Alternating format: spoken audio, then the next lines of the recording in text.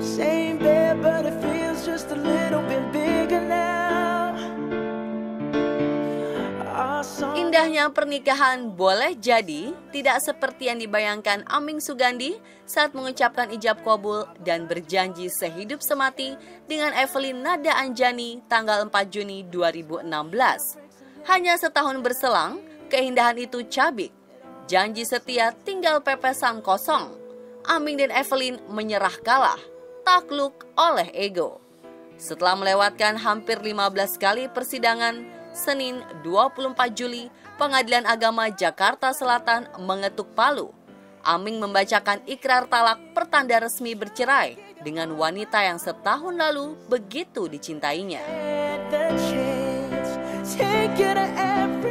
sudah cukup udah enak udah udahlah udah pada capek banget udah penat banget jadi sudahi aja dengan etikat yang baik dengan niat yang baik dengan keikhlasan dan semoga kedua belah pihak bisa melanjutkan hidup dan lebih lebih berbahagia lagi itu aja.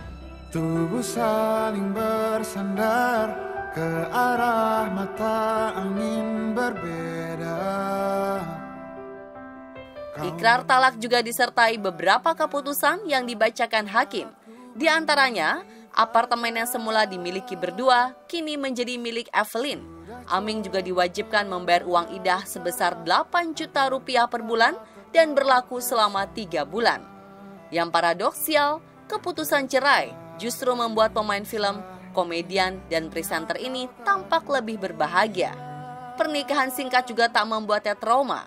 Meski tak dalam waktu dekat, kemungkinan membangun rumah tangga lagi tetap dipikirkannya. Jangan paksakan genggamanmu. trauma langsung langsung kalau urusan ini saya tegas. Mungkin saya akan lebih mawas diri lagi lebih matang lagi. Pada akhirnya kadang logika, eh, cinta mengalahkan logika. Tapi banyak saya harus mikir cinta harus berbarengan dengan logika sekarang. Perasaan harus relevan dengan otak juga ya. Hati harus relevan dengan otak juga.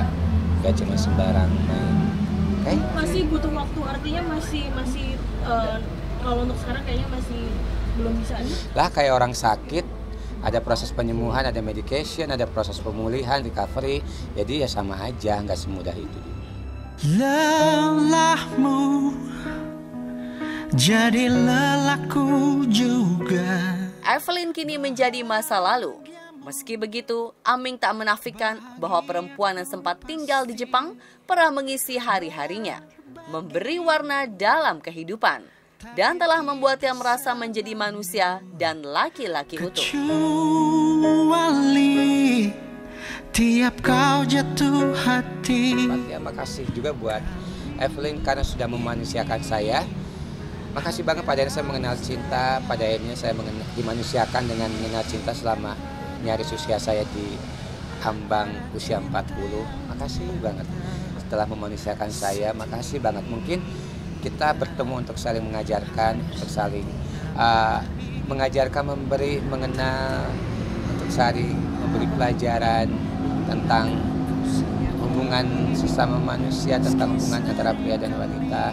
Maka saya doain karirnya makin bagus, hidupnya makin berkah dan sehat-sehat terus itu aja sih.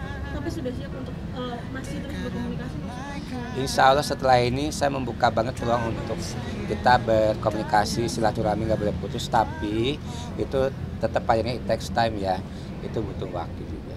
Dan aku mencintaimu Sungguh-sungguh tanpa kau tahu Bagi Evelyn, berkah luar biasa yang dinikmati selama setahun menjadi istri Aming tentulah menjadi terkenal. Status Aming sebagai selebritis serta mertang melekat juga kepadanya. Namun sebagian orang menilai sumir. Evelyn dianggap dengan sengaja memanfaatkan kisruh rumah tangganya untuk menggerek popularitas.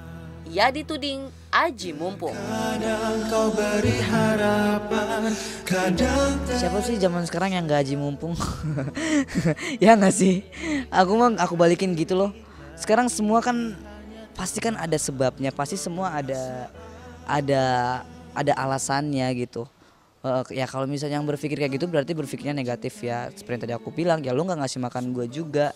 Kalau kalau misalnya ya berarti lo sirik nggak ada nggak ada nggak ada maksudnya eh, nggak bisa aji mumpung kayak gue.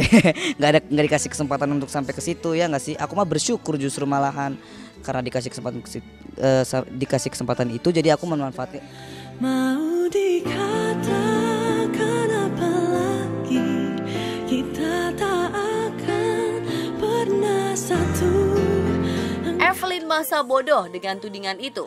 Menurutnya, persidangan menjadi lama dan berlarut-larut karena banyaknya persyaratan yang harus dikompromikan dengan Aming. Pengadilan baru memutuskan setelah Aming menerima semua syarat yang diajukannya. Andai ku bisa Udah, udah deal dari ketok palu kan udah. Sebelum ketok palu kan kita udah semua udah sepakat. E, karena ada kesepakatan kan kita ketok palu gitu. Jadi ya udah nggak ada yang harus dipermasalahin juga. Dan yang mengeluarkan eh, tawaran dan yang minta eh, pisah juga dia semuanya dia. Jadi apalagi yang dia mau dari aku untuk sekarang ini aku udah nggak ngerti. Apa pun itu, kini mereka sudah resmi bercerai. Siap atau tidak, faktanya mereka memilih jalan itu. Selanjutnya tinggal menata hidup masing-masing dan menempatkan kebersamaan selama setahun sebagai kenangan. nggak mau aku udah kalau dari aku udah nggak mau karena aku udah nggak mau sakit hati juga sih Eh, karena setiap eh, setiap ada ada niat baik ada ada ada hubungan eh, jadi akunya jadi sak- jadi ada adalah peristiwa yang bikin aku sakit lagi bikin aku sakit lagi. Ya buat apa lagi udah?